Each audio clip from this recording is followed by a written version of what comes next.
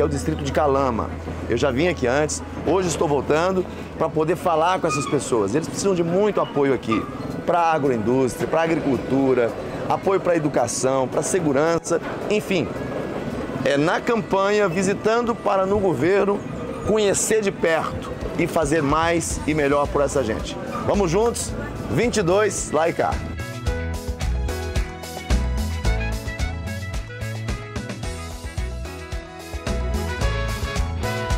Você chegando suando essa bicicleta Eita, toda. de bicicleta. Obrigado. Só pra ver esse governador, Ô, esse meu pai. touro governador. Amém.